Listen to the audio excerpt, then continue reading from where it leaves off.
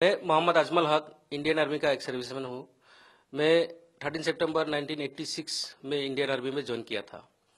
और पिछला 30 सितंबर 2016 को रिटायर हूँ। इसी 30 साल के दौरान मैंने बहुत सारे कठिन से कठिन इलाके में सर्विस किया और देश का सेवा किया।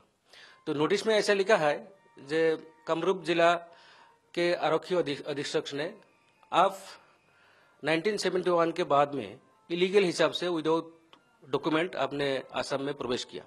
तो अगर आपके पास कोई वैलिड डॉक्यूमेंट है तो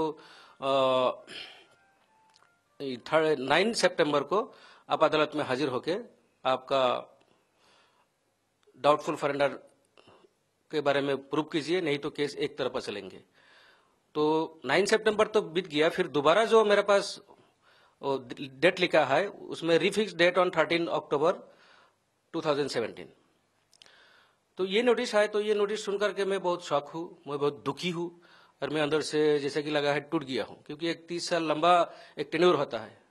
मैं एज ए जूनियर कमीशन अफसर मैं आर्मी से रिटायर हूँ तो बहुत एक अच्छा काम किया तो भी मेरे को ऐसा परमिशन मिला है। तो मेरे को एपीजे अब्दुल कलाम साहब के साइटेशन पत्र भी है, जिन्होंने मेरे को एज ए जूनियर कमीशन अफसर इन इंडियन आर्मी नियुक्ति दिया है।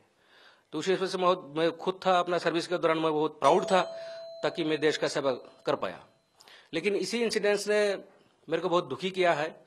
तो एनी हाउ मैं कोर्ट में जाऊँगा थर्टीन अक्टूबर को, और मैंने सब कुछ प्रूफ एविडेंस कोर्ट में दाखिल करेंगे। तो आशा करता हूँ जो हमारा ऑनरेबल कोर्ट हमको बरी करेंगे।